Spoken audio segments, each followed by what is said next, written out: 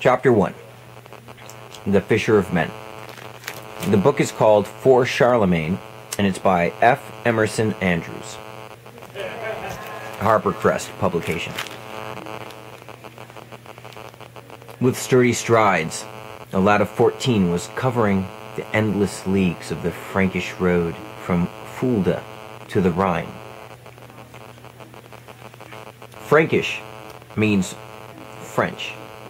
That's in the French country. And the Rhine is a river that separates the French country from another country. I, I'm not sure which, maybe Spain. It was the year 789, and I could be wrong. That's what I think. It was the year 789 when Charles, later to be called Charlemagne, was king of the Franks. So he was the leader of all the French people. Scarcely a road in Europe was safe for traveling. It was very dangerous. And certainly this deserted track through marsh and forest and over low hills, forcing its way through country only lately conquered from warring tribes, was not one to be traveled alone without good cause. The boy's name was Sigmund, and if there were other Sigmunds, he was Sigmund of Fulda. He was tall and well muscled, had light hair and blue eyes. His shoes were so patched and dust covered that even their shape was indistinguishable. Over a shirt like garment called a tunic,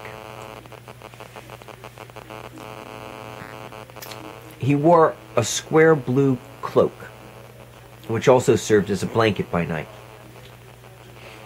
A small bag strapped on his back contained a piece of bread the size of a fist.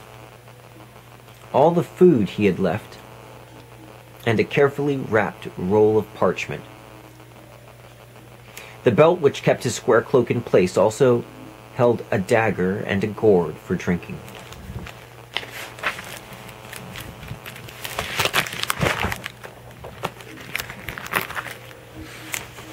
In the next hollow, he saw a small stream and paused to fill his gourd and have a drink. Spring was running through the woods.